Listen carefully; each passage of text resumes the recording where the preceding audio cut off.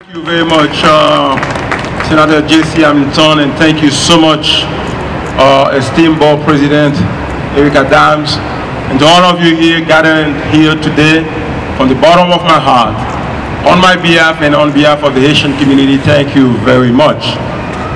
Thank you.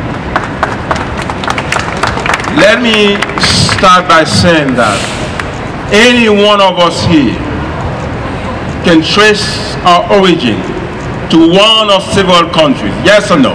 Yes. And anyone living in the United States of America, regardless of the color of the skin, regardless of the faith, religion, or orientation, can trace also his or her origin to one or several countries. And if you want to go further than that, anyone in the world, any human being in the world, regardless of where he or, he or she's living, can trace also his or her origin to one or in other countries.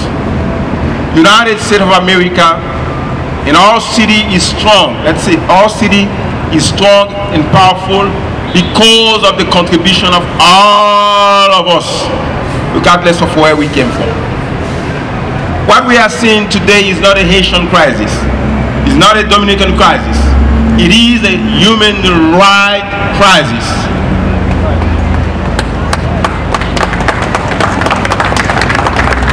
And that's the reason I commend all of you for standing up together to make sure we stand for human dignity and human right, human respect. The people who have been deported to Haiti, there are two groups of people.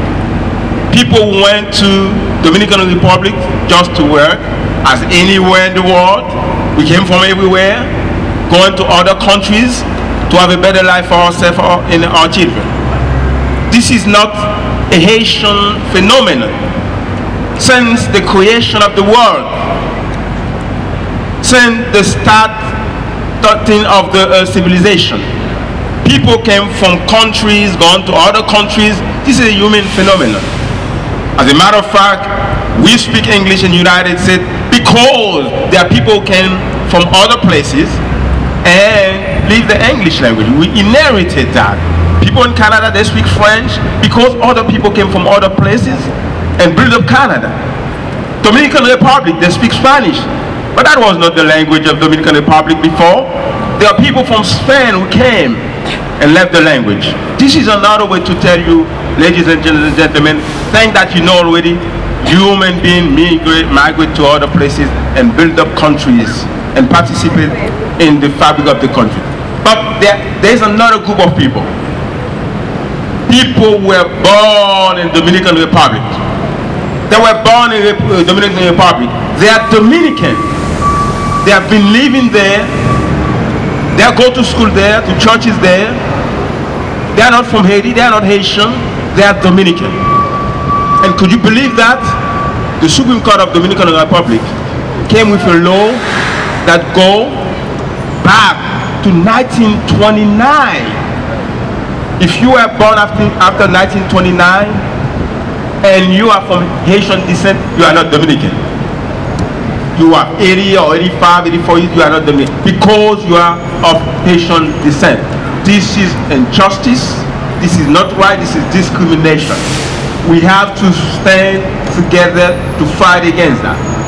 Another thing, just imagine if United States of America today say that Everyone, regardless if you were born in the United States, America or not, go back to your country. Just imagine that. We will never accept that. So that means we got to stand together to ensure that we fight against the discrimination. Let me conclude by saying that